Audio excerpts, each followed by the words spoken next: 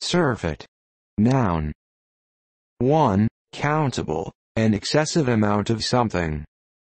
For example, a surfeit of wheat is driving down the price. 2. Uncountable, overindulgence in either food or drink, overeating. 3. Countable, a sickness or condition caused by overindulgence. For example, King Henry I is said to have died of a surfeit of lampreys. 4. Disgust caused by excess, satiety. Surfeit. Verb. 1. Transitive, to fill to excess. 2. Transitive, to feed someone to excess.